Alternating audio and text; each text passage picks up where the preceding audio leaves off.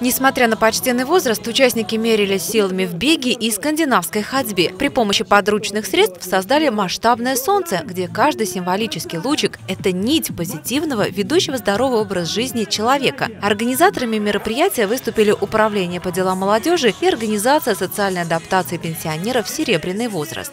Люди, которые собрались сегодня в центре Анапы, на площади, продемонстрировали свое жизнелюбие, свою молодость души, показав свой задор, пример – своим внукам, э, детям, как надо радоваться жизни, как надо дарить радость э, окружающему миру, людям.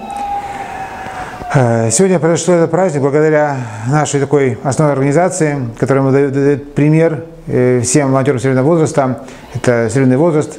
Особая благодарность ее руководителю, вдохновителю идейного Луизе Гусаковой, который сегодня со своими подвижниками с помощниками из администрации города Анапы, банк Кубань Кредит провели такой праздник яркий для жителей и гостей Анапы. В этот солнечный день участники акции получили не только заряд бодрости и позитива. Каждому был вручен памятный сертификат от организаторов мероприятия. Завершилась встреча пресс-конференции, на которой обсудили вопросы и перспективы развития волонтерских движений людей старшего возраста.